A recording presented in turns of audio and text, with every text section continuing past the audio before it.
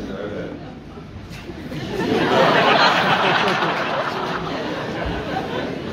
Yıllardır en korktuğum geldi, zamansızlık.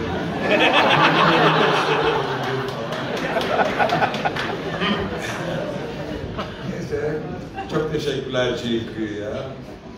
Çok güzel